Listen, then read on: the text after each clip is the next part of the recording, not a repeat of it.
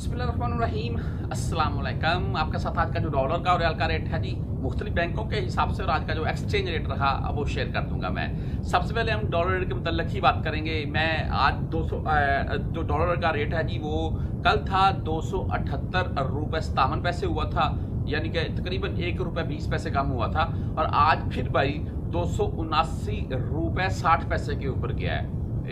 Dollar यानी कि कल की नस्बत आप बोल रहे हैं कि एक रुपये तकरीबन तीस चालीस पैसे आज डॉलर पे इजाफा हुआ है। और अगर हम रिया रेट की मुताबिक बात करें तो आपको पहले मैं एक्सचेंज रेट दिखा रहा हूँ साथ में जी।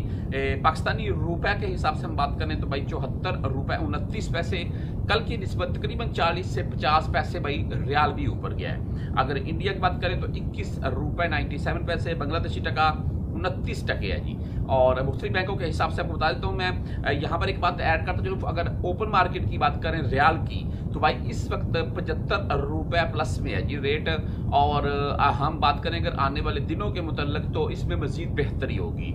जो प्रदेश में बैठे हुए भाई मेरी वीडियो देख रहे हैं, आप वहाँ पर अगर किसी भी बैंक में, यानी कि कोई भी बैंक में चले जाए, आप राज़ी, इंजाज वगैरह, फौरी क्विक पे किसी बैंक में भी चले जाए, आप उनको रेट चेक कर लीजिएगा नेट के ऊपर भी डॉलर का।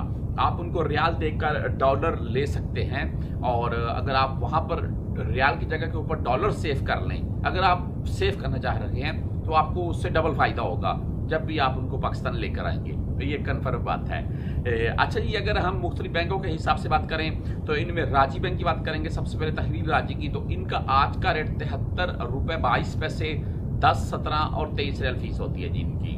अगर वेस्टर्न यूनियन की हम बात करें तो भाई इनका आज का रेट तिहत्तर रुपये उनतालीस पैसे दस, सत्रह और तेईस रियाल इनकी भी फ़ीस है। एंड अगर मनीग्राम की बात करें तो मनीग्राम का आज का रेट तिहत्तर रुपये चौंतीस पैसे दस, सत्रह और तेईस रियल फ़ीस के साथ। एंड अगर टैली मनी यानी कि ए एन बी बैंक की हम बात करें तो भाई इनका आज का रेट तिहत्तर रुपये छब्बीस पैसे दस, सत्रह और तेईस रियाल फ़ीस होती है जी इनकी भी।